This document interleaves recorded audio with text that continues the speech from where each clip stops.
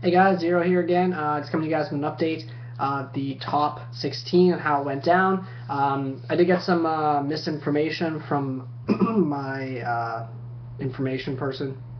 Um, yeah, so there wasn't actually a Fire Fist, even the top 16. All the Fire Fist decks that were in the top 32 just got destroyed. So, uh, top 16, instead of Fire Fist, there was actually a second Rabbit deck.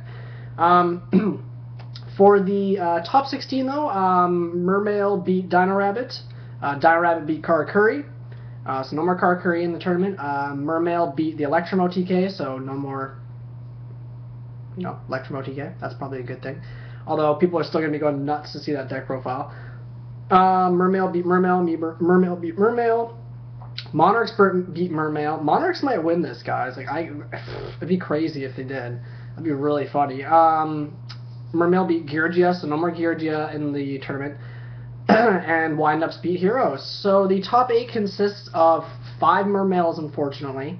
Sucks. Uh, the deck's probably going to win the YCS. It, right now, ratio-wise and percentage-wise, obviously it has the highest chance of doing so. So, I mean, we'll see what happens. Uh, the one Monarch still left in there, the Windup's still left in there, and then there's one Dino Rabbit. Um, I got my money on windups or monarchs. I think that'd be really sick if windups won. I'm really excited to see that deck profile and uh, see what the guy's running.